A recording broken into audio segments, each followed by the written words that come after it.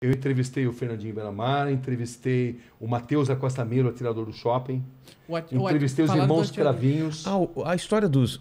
Entrevistei os canibais de Garanhuns. Isso que eu ia falar. Essa história é tão bizarra. Deixa eu. É bizarra. Essa história dos canibais eu tava vendo a sua É, entrevista. era, um- era uma seita, né? Onde ele Como manipulava as mulheres. seita? Era... Puxa, você sabe Eu não- esqueci, mas. Eu também não vou lembrar mas ele agora. mas manipulava as que ele mulheres, né? Pra... Manipulava as mulheres. Ele era um cara muito bom de conversa e as mulheres eh, seguiam fielmente tudo que ele dizia, matavam, esquartejavam eh, e ainda usavam eh, a, a carne para coxinha. Caramba, Que absurdo, cara. É é- É um cara muito manipulador, né? Total, eu entrevistei, né? é uma história. Também está no YouTube, quem quiser. É, os- Eu vi, eu É vi muito esses dias, É sabendo que você vinha, que eu fui rever essa. Cara, é impressionante. A, a mulher falando e falando em Deus, aí mostra, né? É. Tem, tem uns impressos, né? Com a. Pô, eu, eu- tava na minha cabeça o nome da, da seita. eu É uma, uma, uma, uma- uma seita de adoração ao diabo, né? Basicamente era isso. O nome não lembro exatamente agora, mas Então- na matéria tem. Aí, mas E porque, porque foi, foi localizar todo um livro, ele tinha escrevido um livro. É. É, porque, porque é o seguinte, ele escreveu um livro que se recusaram a publicar.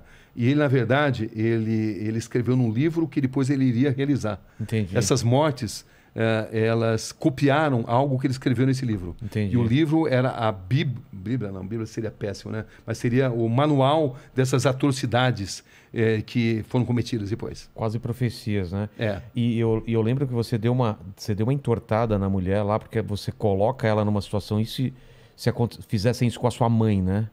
Poderia chamar essa pessoa de monstro? Ela fala sim. Então, as pessoas, então, você entende a- a- as pessoas achando que vocês são monstros. E eu achei isso porque ela, ela não percebeu que ia para esse lado a pergunta depois, né? E aí ela, ela se dá conta, né? Do... É, é, quando você está nessas entrevistas, é uma guerra mental. É, né? Você vê que eu não, não levo, como você também não, Não, né? é, eu não não levo per- anotação. Porque você não pode perder o olho no olho. Exato. entendeu? Porque é no, o body language, né? a linguagem corporal. É, as grandes perguntas, elas nascem de respostas incompletas, aonde você às vezes muda Ou de totalmente silêncios, né? silêncio, pausas, É. você muda totalmente o encaminhamento da entrevista mediante algo que foi contado. Mas para isso você precisa estar muito atento e você não pode perder, você não pode baixar os olhos, senão você perde o contato com a pessoa. Então, é, é assim que você consegue extrair, né? Eu lembro, por exemplo, quando entrevistei o Matheus Acosta Meiro, atirador do shopping, né?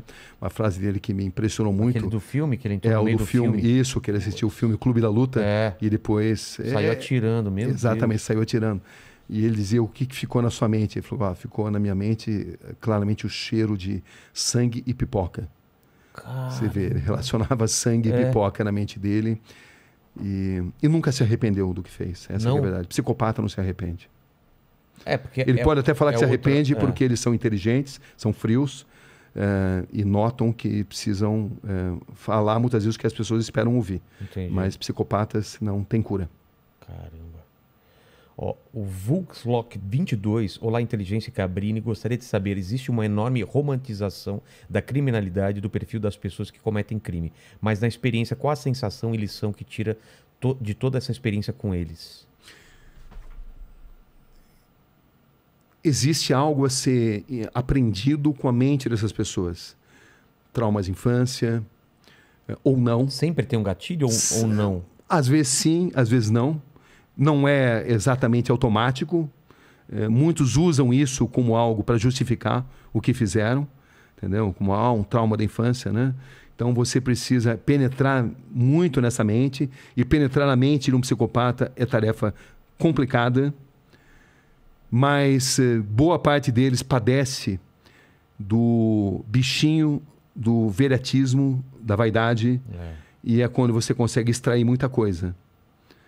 Eh, e eles gostam também de submeter a capacidade deles de manipular a, a sua capacidade de perguntar. Então, eles estão sempre tentando te manipular É, a- então, a, a sempre. perguntar o que eles querem responder. Com certeza, com certeza. É um jogo mental violento, onde você precisa ter o máximo de concentração. Você Senão não você pode... faz exatamente o que eles Senão querem, né? você faz, senão você não surpreende.